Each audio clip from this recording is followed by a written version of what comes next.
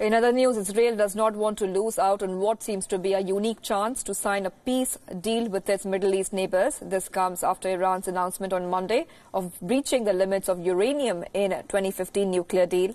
The rare public appearance, uh, Israeli spy master Joseph Cohen has said on Monday that his agency had formed a task force to identify peacemaking opportunities in the U.S. aligned Arab countries. Now, Israel is looking to initiate peace in a region where only two Arab states of Egypt and Jordan share these diplomatic ties with the country. Now, finding it a rare opportunity to arrive at a regional understanding, Cohen has cited Iran's nuclear program as a shared concern. He also asserted that the recent spate of oil tanker attacks have been carried by Iran, a reason why the Middle East should come together and commit itself to the rival the cause.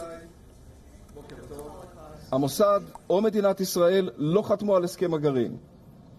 אנחנו, אנשי הצללים, חתמנו רק על הסכם אחד. חוזה עם אזרחי מדינת ישראל. חוזה בו אנו מתחייבים לעשות הכל כדי לוודא שלאיראן לא יהיה לעולם נשק גרעיני.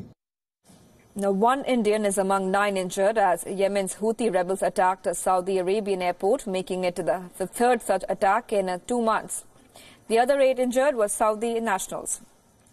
The Houthis have claimed responsibility for the drone attack at the Abha Air International Airport was carried out by the Houthis. The rebel group said that they had launched an operation aimed at warplanes at the airport. A Saudi-led alliance has vowed retaliation for the attack on civilian assets. The UAE, which is part of the alliance, condemned the incident, saying that it was not just an attack on Riyadh but on Abu Dhabi as well. Meanwhile, the Abha airport said that the air traffic was not affected due to the incident. The Abha airport was earlier attacked with missiles and drones on July 12th and 23rd.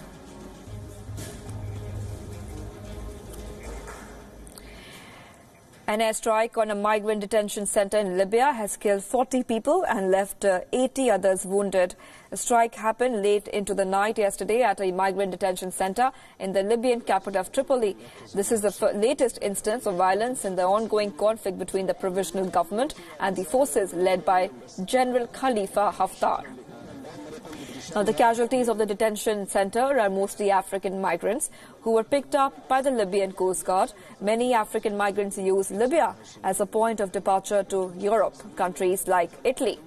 Now, there have also been multiple reports from the UN slamming the human rights violation in these detention centers.